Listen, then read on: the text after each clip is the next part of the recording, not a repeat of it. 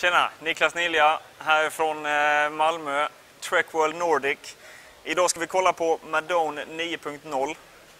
Detta är en ny modell som vi har nu som kommer in på eh, en riktigt, riktigt, riktigt bra prisbild på 39 999.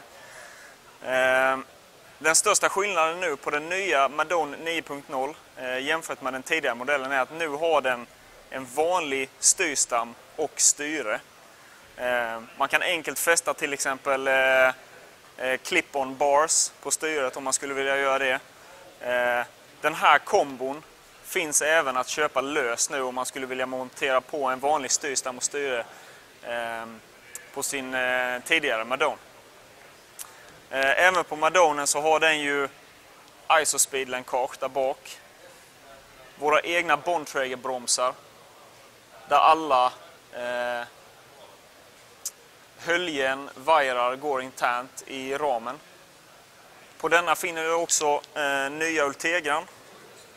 Eh, våra Eilus kompfälgar med aluminium bromsyta. Duo Trap där du kan fästa eh, kadenssensor och hastighetssensor. En riktigt, riktigt fin modell eh, som går in på riktigt, riktigt bra pris. Madone 9.0.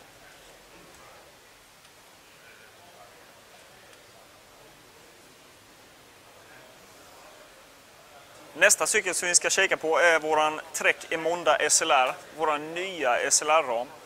Eh, där vi har lättare har blivit ännu lättare. Denna ramen väger nu 640 gram. Det är en helt ny ram detta med helt nya rörformer. Eh, den har direktmonterade bromsar. Denna modellen har även våra Eilus Pro-fälgar som är våra helt nya hjul. På denna modellen så finner du även Durace-komponenter. Ny vajerdragning även på denna eh, modellen. Och den är lackad i vår snygga Trek Factory Racing-lack. Emonda SLR kan du även få med disk idag. Eh, den har nya styvare kedjestag och sittstag.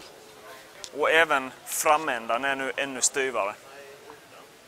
Så detta är vår absolut lättaste och finaste cykel. Emonda SLR.